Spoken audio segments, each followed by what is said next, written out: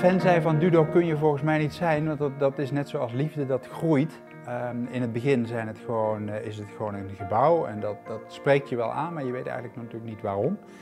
dus het, is, het, het, het, heeft wel iets, het is net zoals een schilderij, het heeft iets, maar je, en je krijgt er een soort kriebel van in, je, van in je buik, maar je weet eigenlijk niet wat, waarom dat, dat is. Nou ja, als je dan beter gaat kijken naar het pand, en je gaat naar de materialen kijken, en je gaat naar de kleuren kijken, ja, dan besef je wel dat dat toch wel heel iets bijzonders is. Dat het niet zomaar eh, paar stenen op elkaar zijn, maar dat die, dat die stenen een kleur hebben, dat de voegen een kleur hebben.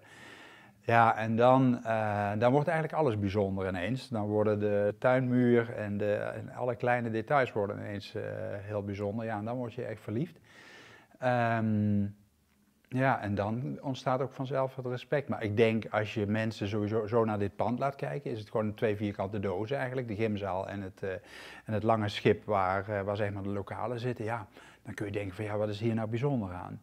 Maar als je dan, uh, ja, als je dan gaat kijken naar ook de mechanische bouw, gewoon de stalen kozijnen, de, het Belgisch hardsteen dat gebruikt is voor de, voor de vensterbanken en de manier waarop het regenwater afgevoerd wordt.